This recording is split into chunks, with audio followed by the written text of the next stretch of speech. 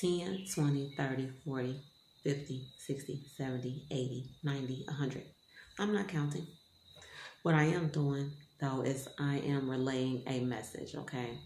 God want us wants us to stop lending those amounts 10 20 30 dollars 40 dollars 50 dollars 60 dollars to individuals close to us or they don't even have to be close to us just stop lending that amount those small amounts that is change compared to you know the reward that you will get if you just go ahead and just give the individual that asks of you that amount that's nothing compared to what god will reward you with I have a Bible verse here that backs this statement up, okay?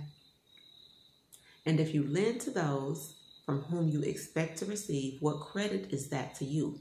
Even sinners lend to sinners who get back the same amount. So if you lend to somebody, you're going to get back $10, $20, $30, 40 60 But imagine you lending that small amount, that change, back and receiving so much more. God will He will bless you with so much more if you lend, if you give, not lend, but give to someone in need. You're not doing it for that individual per se. You're doing it for God. Okay, yes, you're doing it for that individual, but if it came from the heart, you're doing it for God. Okay, and God is going to reward you with so much more. $10, $20, just give it to them. $30, $40, 60, especially if you have it. Most people have that and they spend that on a cup of coffee from, or, you know, treats from Starbucks, or, you know, they spend it on drinks or lottery, even. You have it.